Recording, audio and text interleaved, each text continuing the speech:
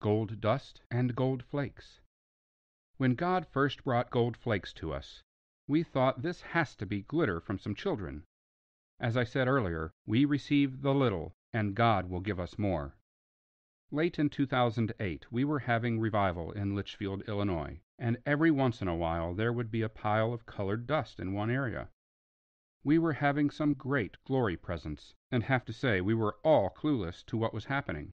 We would find these piles, and because we thought it was nothing, we would quickly vacuum it up.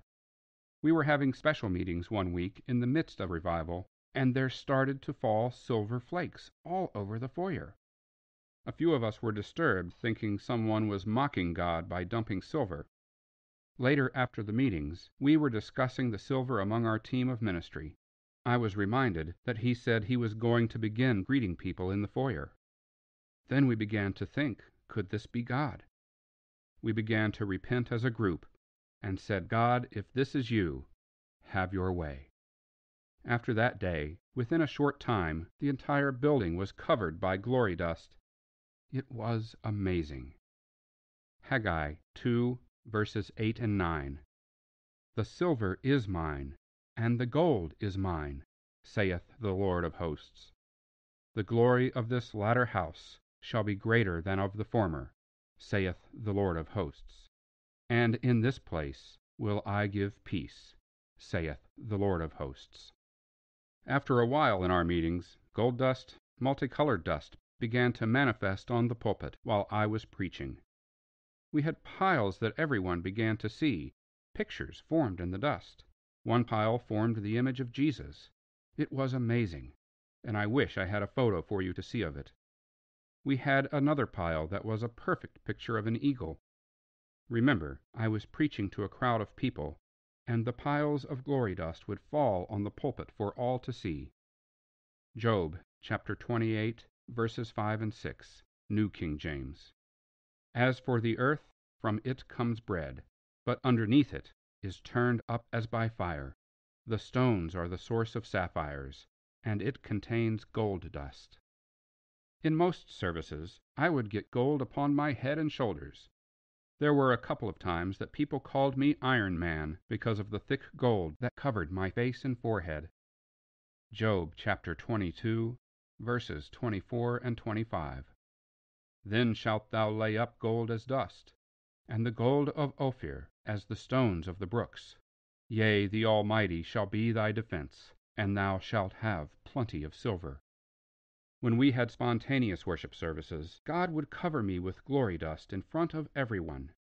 It was more amazing than words can say. When I tell these stories, understand that it is God who does it, and I give him all the glory. Psalms 45, verse 13. The king's daughter is all glorious within, her clothing is wrought of gold. Psalms 68, verse 13. Though ye have lien among the pots, yet shall ye be as the wings of a dove, covered with silver, and her feathers with yellow gold. Ezekiel chapter 16, verses 10 through 14. I clothed thee also with broidered work, and shod thee with badger's skin, and I girded thee about with fine linen, and I covered thee with silk, I decked thee also with ornaments. And I put bracelets upon thy hands, and a chain on thy neck, and I put a jewel on thy forehead, and earrings in thine ears, and a beautiful crown upon thine head. Thus wast thou decked with gold and silver. And thy raiment was of fine linen, and silk, and broidered work. Thou didst eat fine flour, and honey, and oil, and thou wast exceedingly beautiful. And thou didst prosper into a kingdom. And thy renown went forth among the heathen for thy beauty, for it was perfect through my comeliness, which I had put upon thee, saith the Lord. The Bible says that the glory can be seen upon us. How about gold dust upon us? It manifests upon God's people when the presence is there. Isaiah chapter 60, verses 1 and 2. Arise, shine, for thy light is come, and the glory of the Lord is risen upon thee. For behold, the darkness shall cover the earth, and gross darkness the people. But the Lord shall arise upon thee, and his glory shall be seen upon thee.